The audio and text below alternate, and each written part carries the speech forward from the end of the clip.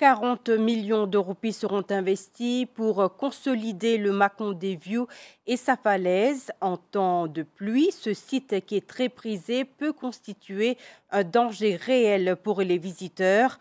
En raison des fissures dans la falaise, des rochers peuvent se détacher à tout moment.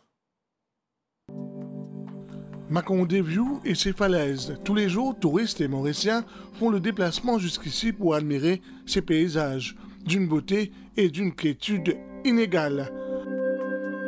Or, en temps de pluie, cette partie du pays devient dangereuse. Ce rocher que vous voyez est tombé de la falaise.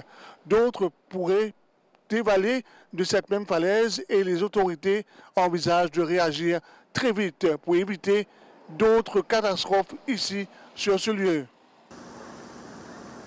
Quand est tombé, au chemin. Donc, nous besoin assurer qu'à ce moment-là, a aucun véhicule, a aucun monde qui peut marcher dans l'endroit-là. Nous besoin sécuriser l'endroit-là bien.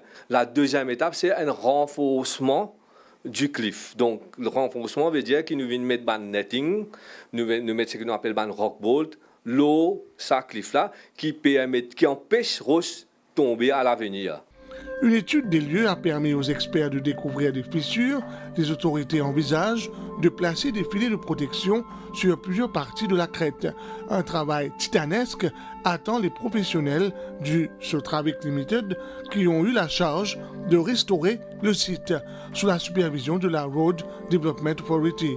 Un projet estimé à 40 millions de roupies. Ce projet-là, c'est loose rock, purging of rocks une Ross qui la possibilité de tomber dans le futur, nous pouvons aller avant même. Et après ça, nous pouvons faire un roc net qui vient placer sa paroi là pour empêcher dans 7 ans, 8 ans, si y a un rose qui n'a tomber, un petit rose, il tombe within ça rock net là. Et les bon, nous connaissons que le cachet naturel des Macondés pour pareil, nos viewpoints pour être pareil, les averses et les marins contribuent à la détérioration du site. C'est pourquoi les autorités recommandent que cette route reste fermée le temps des travaux qui seront effectués par phase. Les travaux pour stabiliser la falaise de Macondé devraient démarrer le 2 mai prochain.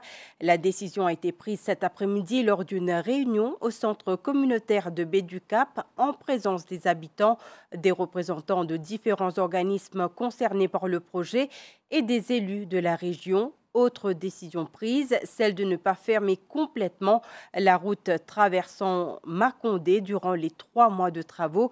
Elle sera fermée de 8 h à 15 h